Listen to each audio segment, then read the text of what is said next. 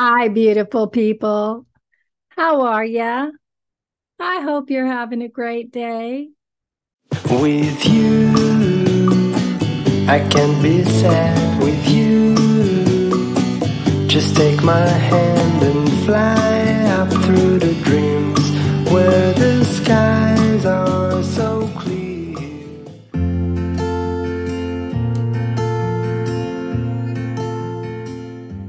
Tesla was feeling a little needy, weren't ya? So he wanted up in my lap. So here he is. We had a busy weekend. We had three grandchildren here. My granddaughter Cadence and her brother Charlie went to Walmart with me.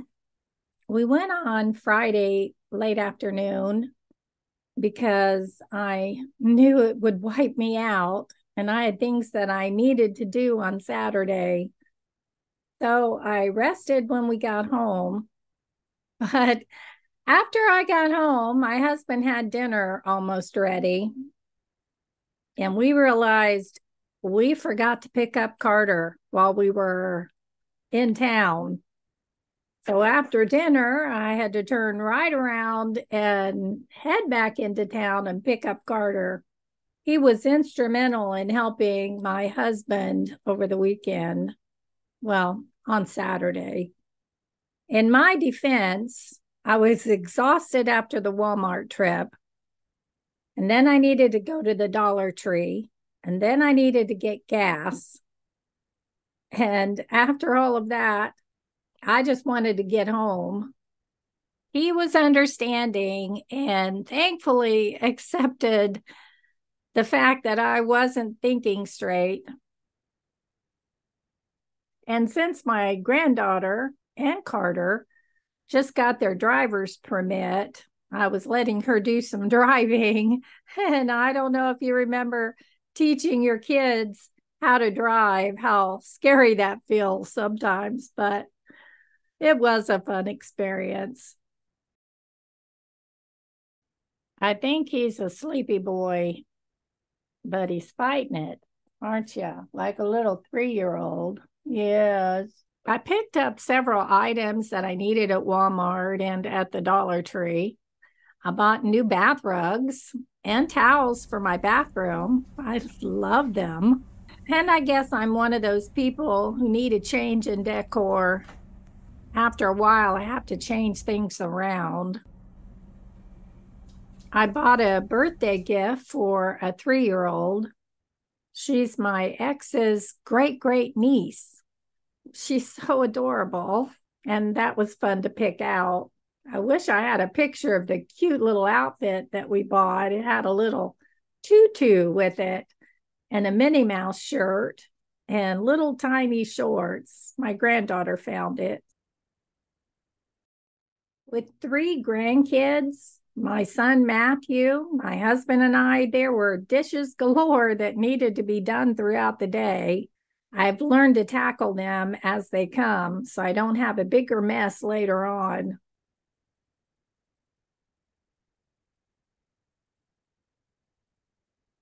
That daddy. It's daddy. Pretty close. You know? I think the template. I'm gonna use this as the template. Okay. I'll probably have to tweak in the So I've decided during the summer that since there's always so much activity happening around here, that my Tuesday videos would be a day in the life, several days in the life, actually. But I thought that would be fun, and I hope you enjoy it. And if you do, click that like button and subscribe. I really appreciate it. I love you all so much. I truly find this fun. On Sunday, I worked on cleaning off my desk. I picked up a little lamp for my desk. It's pretty. I have trouble seeing the numbers on my laptop, but to get to that, I had to rearrange and clean off my desk, which is fine. It was getting pretty dusty. I moved my fibromyalgia books back there. So, what is important for me to access here on my desk is here now, like my phone charger, my clock, my planner. I have some file folders that I keep things in that keeps my desk from getting all cluttered, like doctor stuff and things like that. I need a coffee warmer, so that's here. I've got a little box that was white that I spray painted blue to keep things like my phone charger and stuff in. And my planner keeps me on track so I don't miss doctor appointments. And that printer over there, maybe it's seen its last day. We still use it on occasion when we're printing a lot of things, but my husband tends to pile things on it, which drives me bonkers. But that's something for another day. I used that old printer when I was printing hundreds of pages of research articles when I was working on my dissertation. I kept them all organized in file boxes so that I could access them more easily. And it, it just made my life a lot better. And then over here, next to my computer, I have my headphones, and it's where I keep my microphone when I'm not using it. And then down here to the left is a filing cabinet that I use to file and store things. This desk doesn't have any drawers or places to store things, but it's the one I picked out because it's really big and it holds a lot, including that huge TV screen that I use when I'm researching things. It makes things a whole lot bigger for me to see. Perfection isn't going to help me, so I do what I can. But the big thing that happened this weekend with my youngest son and two of my grandsons was helping my husband get the framework up on our greenhouse. My husband couldn't do it alone and he needed extra hands so they were, were they were really wonderful. They worked really hard on saturday. My husband wanted to get all of that framework put up because it was supposed to rain on sunday which it did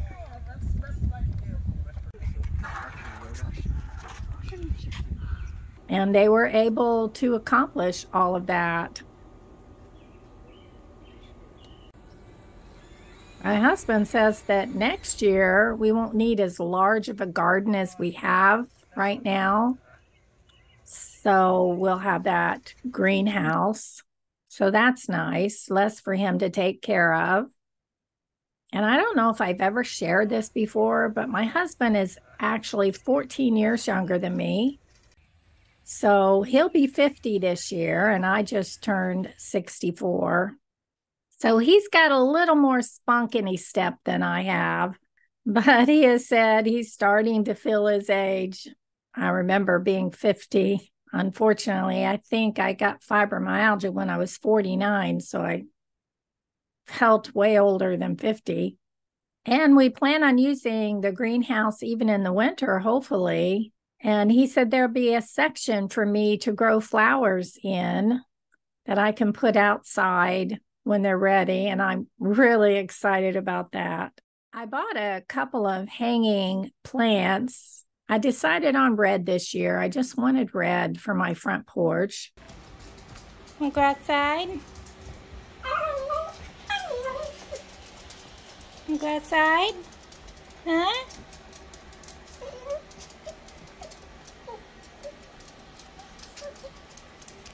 Go outside? What? Do You want to? You want to? You want to go out?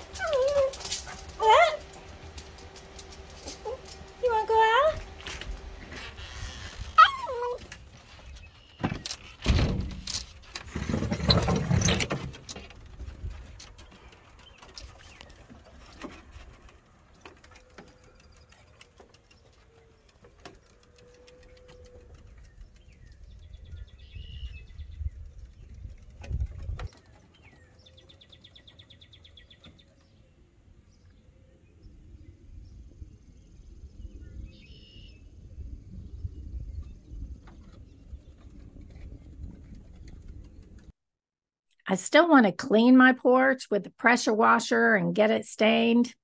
Golly, it needs it so badly. I also need to trim our bushes. That's for another day, too. Maybe next weekend. And then Carter, he asked for a haircut. So if you're new here, my first career of 20 years was as a hairdresser, and I owned a beauty college with a friend and did that for about three years. So once in a while, one of my kids or grandkids asked for a haircut. But the last time that I cleaned out my closet, I put my clippers someplace. I took them out of the bag that they were in, pitched the bag, and put those clippers in a container somewhere in my closet. At least that's where I thought they were. So I had looked everywhere and I was just sure they were in the closet, but I couldn't find them. So I ended up taking pretty much everything out of the closet that was on the shelves. I needed to reorganize my clothes, anyways, my shorts, long pants, and capris that I had in bins. And refold them and organize so I could find things. So I did that. And the very last thing I looked up and I saw this blue bin and I thought, what what's in there? And sure enough, there was my clippers. Oh my gosh, I didn't even remember putting them in there, but that's what I did. So now I have the clippers so that I can cut his hair and whatever the style is that he's wanting done. I was too tired on Saturday to do a haircut after the busy day that I'd had. And Sunday, they all went to church and then back to their homes. So one day this week, we'll get his haircut. Sunday, I ended up working on tons of laundry. I had to wash all the blankets and pillowcases. I suppose I didn't have to, but in my mind, the next time they come, all the blankets and pillows will smell nice and fresh. Our olfactory system can be really strong and put strong memories in our head. And I want my grandkids to remember Grandma's house smells good. So, all of those blankets and pillows were on our couch and one of our chairs. The couch and chair will stretch right out and makes a perfect place for all of them to sleep while my youngest son was sleeping in the bedroom where they will usually sleep when he's not here. But until we figure out if he's got sleep apnea, which we all think he does, they don't want to sleep in the same room with him because he snores really loud and they say they can't sleep. So it all worked out perfectly. So I was able to get my pillows back on my couch and my chair. I like them. They make me happy and they look pretty with the decorations on my mantle. It's the little things that make us happy.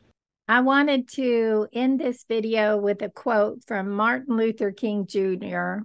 He said, I have decided to stick to love. Hate is too great a burden to bear. That's so beautiful. I send you gentle hugs and support. Love you. With you, I can be sad with you. Just take my hand and fly up through the dreams where the skies are so clear. Got your toy? You'll come in? He's got a toy. Love me today, let's run up through the clouds where the sun shines.